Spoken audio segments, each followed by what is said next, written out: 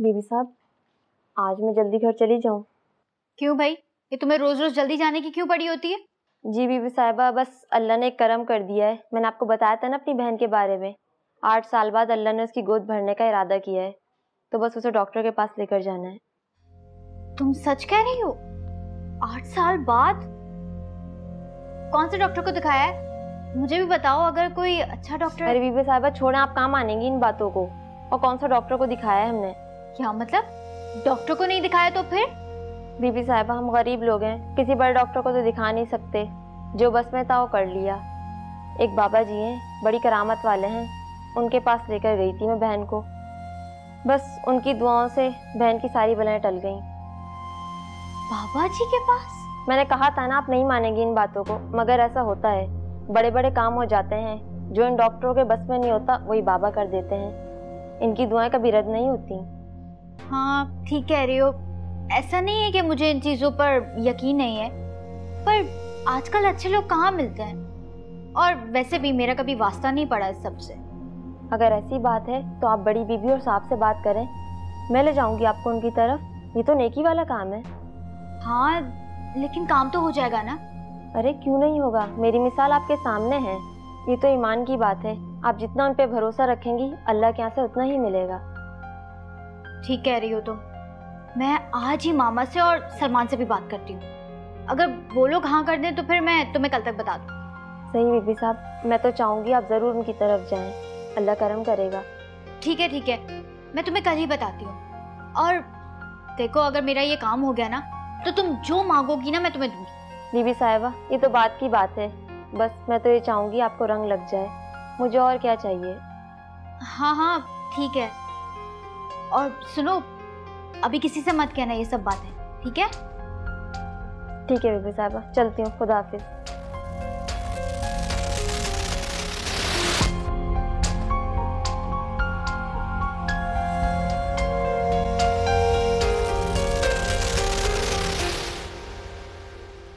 अम्मी? वो दरअसल मैं घर जाना चाह रही थी। खैरियत है? इस तरह अचानक? अचानक तो नहीं अम्मी तो काफ़ी दिनों से बुला रही हैं वो बस मैं ही अरे भाई इसमें क्या है? अगर तुम नहीं जा सकी तो वो आ जाती। आज तुम जाओगी कल रोशनी जाएगी। नहीं भाई ऐसा करो तुम उन्हें बुला लो। हमसे कोई नाराज़गी है क्या? नहीं अम्मी आप आप ठीक कह रही हैं लेकिन आज उनको प्रॉमिस कर दिया और अमान को भी तैयार कर लिया क्या? अमान भी जाएगा? नहीं नहीं अमान कहीं नहीं जा सकता। मैं उसे कहीं नहीं जाने दूँगी।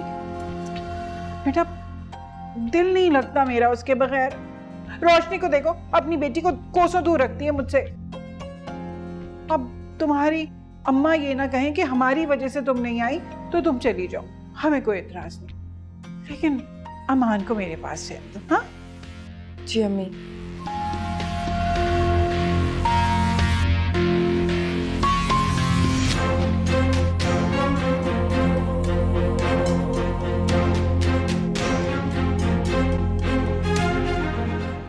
सब दिखाते रहते हैं। बुरी सास, अच्छी बहू। तंग आ गई हूँ मैं देख देख के। शकीला! शकीला, कहाँ रह गई? मेरी चाय लेकर आओ। शकीला! अरे मामा, ये लें आपकी चाय। क्यों? शकीला कहाँ गई जो तुम लेकर आई हो? वो मामा, पता है आपको, वो बता रही थी कि बहुत पहुँचे हुए आदमी है। मैं सोच रही थी कि अगर हम भी वहाँ चले जाएँ। तो क्या पता अल्लाह ताला हमारी भी सुन ले?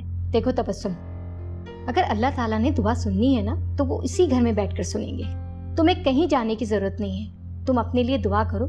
तुम्हें अपनी दुआ पर यकीन नहीं है? वो बात नहीं है मामा।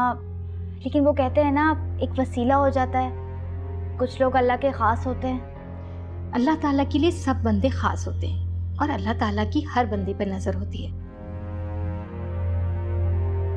इसके लिए तुम्हें कहीं जाने की ज़रूरत नहीं है। मामा सारी दुनिया जाती है। अगर हम लोग चले जाएँगे तो क्या हो जाएगा? हो सकता है मेरे नसीब में ये खुशी इसी तरह लिखी हो। तबस्सुम ये लोग आलिम नहीं होते ये खबीस होते हैं। घरों के घर उजाड़ दिए इन्होंने। ये घर संवारते नहीं है उजाड़ते हैं। देखा नहीं है तुमने? रोज आए दिन क्या कुछ नहीं छपता अखबारों में? क्या कुछ नहीं टीवी पे दिखाया जाता? वो मामा अच्छे बुरे लोग तो हर फ़ील्ड में होते हैं।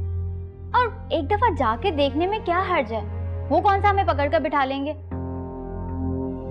अगर हमारा दिल माना तो ठीक है वरना वरना हम आ जाएँगे वापस। एक बात बताओ तुम मुझे। तुम्हें मेरी बात समझ में नहीं आती? या तुम समझना ही नहीं चाहती हो? मामा प्लीज़ मेरी खातिर। अच्छा भाई ठीक है। अगर तुम्हारा शौहर इजाज़त देता है तो तुम चली जाओ। मगर फिर मैं तुम्हें बता आप आप उसकी टेंशन ना लें। मैं सलमान को मना लूँगी। बस आप इजाज़त दे दें। देखो मैं तुम्हें फिर बता रही हूँ। ये लोग ठीक नहीं होते। हाँ तो आप मेरे साथ चलना ना। अगर आपका दिल मुतमइन हुआ तो ही हम वहाँ रुकेंगे। वरना आई प्रॉमिस मैं वहाँ दोबारा कभी नहीं जाऊँगी। ठीक है। पहले तुमने कौन सी मेरी बात सुनी है जो अब सुनोगी? जो तुम्हारे दिल में आए वो करो। और हाँ ये नुमान कहाँ है? जरा कॉल करके पूछो कब आ रहा है वो? जी मैं देखती हूँ।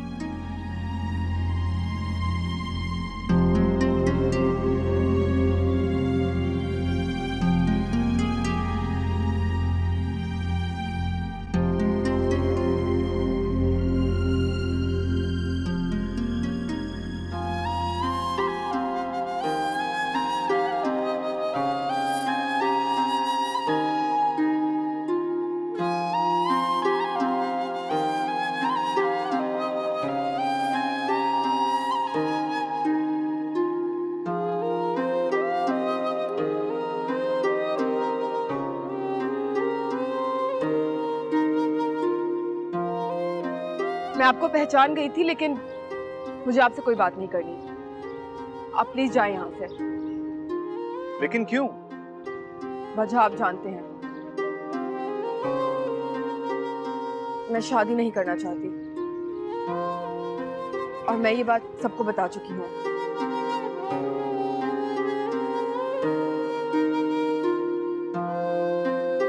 आप जब से मेरी बहन की ज़िंदगी में आए उसकी लाइफ में से प्रॉब्लम्स ही बढ़ रही हैं। जब से आप उससे मिले, वो परेशान ही है।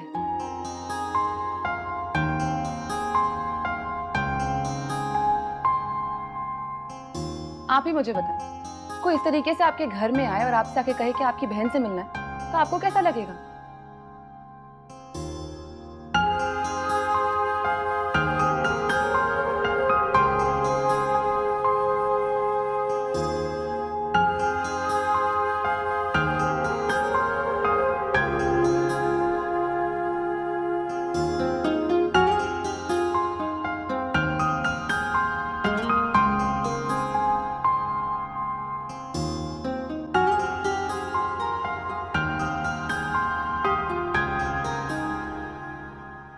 अरे वाह क्या ज़बरदस्त खुशबू आ रही है खानों की। वाह वाह वाह वाह। अरे इतने खाने बन रहे हैं लगता है कि मेरी बेटी रोशनी आ रही। अब भी तो आई थी वो दिन ही कितने हुए हैं फिर कैसे इतनी जल्दी आएगी? हम्म। आज तुम्हारा मूड बहुत अच्छा है। कहीं हमारी शादी की सालगिरह तो नहीं? अरे आप भी ना बस। इतना सारा खाना हम दोनों कैसे खा सकते आप भूल रहे हैं। आपकी एक और बेटी भी है। वो भी तो आ सकती है ना? किरण अरे तो किरण बेटी आ रही है क्या? जी वो ही आ रही है। आप तो ऐसे कह रहे हैं जैसे आपको कुछ पता ही नहीं है। मैंने बताया तो था आपको। हाँ बताती तो हो तुम। लेकिन किरण बेटी आती नहीं। इस दफ़ा सचमुच आ रही है। निकल पड़ी है घर से रास्ते में है। गुड ये तो तुमने बहुत अच्छी खबर सुनाई। आ, मैंने आपके कपड़े निकाल दिए जाइए जाके फ्रेश हो जाइए वो आ जाएगी। वैसे आज हमारी शादी की सालगिरह तो नहीं है। ओ हद है। हर वक्त मज़ाक मज़ाक।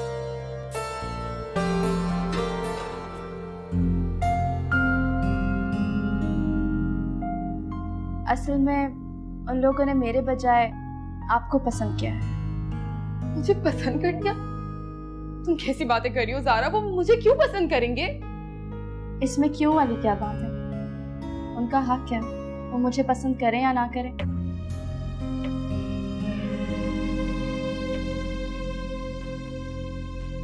अच्छा मुझसे मिलने तो आएँगे ना? देखें एक बात मैं आपको साफ़ साफ़ बता दूँ कि मैं कहीं भी आ सकता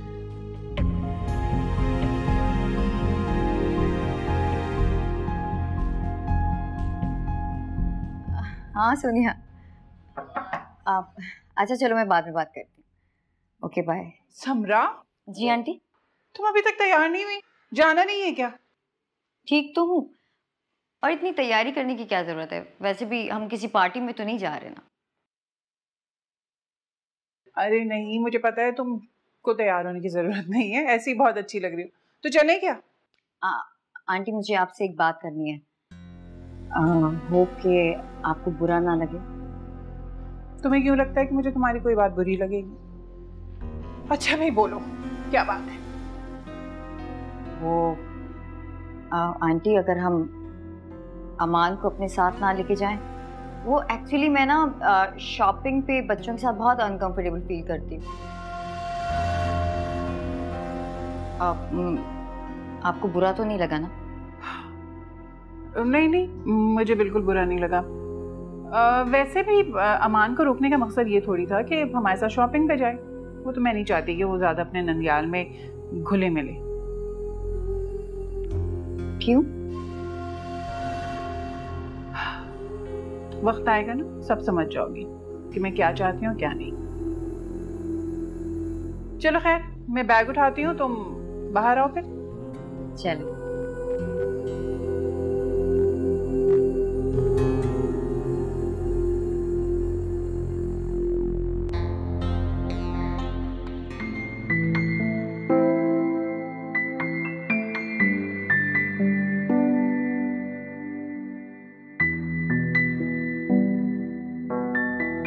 रोशनी। जब देखो दुआ तुम्हारी गोद में होती है। अमान भी तुम्हारी बहन का बेटा है। कभी उसका भी ख्याल कर लिया करो। हाँ। बच्चों का ख्याल तो सबकी ज़िम्मेदारी है अगर इस बात को कोई समझे। और इन बच्चों को सभी रिश्तों की ज़रूरत होती है। अगर आज के दिन इतने दिनों बाद अम्मी और बाबा से मिलने जा ही रही थी तो आपको अमान को नहीं रोकना चाहिए था। तुम्हें तो मेरी हर बात पर एतराज़ होता है। हमारे तो घर वाले पहले ही मुझ पर इल्ज़ाम लगाते हैं कि मैं किरण को घर नहीं भेजती आज उसने मुझसे कहा तो मैंने बोला अमान को मैं रख लेती हूँ वरना वो उधर उसे परेशान करेगा और फिर वो तंग होगी। हाँ और अब अमान को यहाँ रखकर परेशान है ना? ऐसी कोई बात नहीं है। तुम्हारा क्या मतलब है? मैं अपने बच्चे से तंग होंगी मैं तो बस इसलिए कह रही थी कि हम दोनों जरा बाहर जा रहे हैं तो तुम थोड़ी देर अमान को देख लो। इट्स ओके अगर आपको प्रॉब्लम हो रही है तो कोई बात नहीं, हम इसे अपने साथ ले जाते हैं। वैसे ना रखने की वजह समझ में नहीं आती। आपको समझने की भी ज़रूरत नहीं है। ये हमारे घर के मामलात हैं, आप मेहमान हैं, मेहमानों की तरह रहें। रोशनी, तुम समरा की इस तरह इंसल्ट कर रही हो? नहीं, आंटी, मैं समरा की इंसल्ट नहीं कर रही, बल्कि इनकी इंसल्ट ना हो, इसलिए रोक रही हूँ। अब ज़ाहिर है ये हमारे घर के मामला हैं। इसमें बिला वजह आप पढ़ने की ज़रूरत क्या है?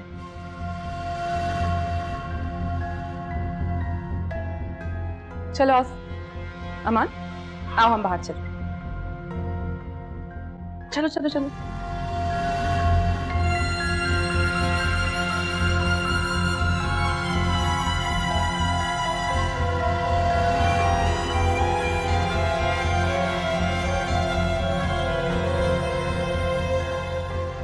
अकेली आई हो?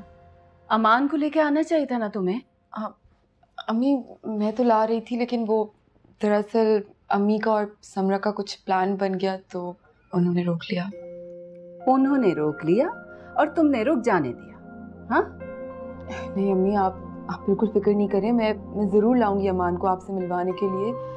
वो तो अम्मी को बहुत प्यार हो गया है, अमान से और समरा की भी बहुत दोस्ती है तो बस इसीलिए उन्होंने आप आप बिल्कुल फ़िक्र नहीं करें। अच्छा अब इसका मतलब तो ये है कि हमारी बेटी जल्दी जल्दी आती जाती रहेगी अब हमारे घर, है ना? ये आपने मुझे तंज किया है ना, अम्मी? अरे नहीं, मैं क्यों तंज करूँगी तुम पे? और हाँ अगर मैं तंज कर भी रही हूँ तो बिल्कुल ठीक कर रही हूँ। सोचा है कभी? कितने महीनों बाद आई हो आज? बाबा कहा है? हाँ बाज़ार तक गए आते होंगे। अच्छा मैं तुम्हारे लिए चाय लेके आती हूँ। हम्म? इसकी कोई ज़रूरत नहीं है। अरे नहीं इतनी दूर से आई हो थक गई होगी। कुछ खाने के लिए भी लाती हूँ। हम्म?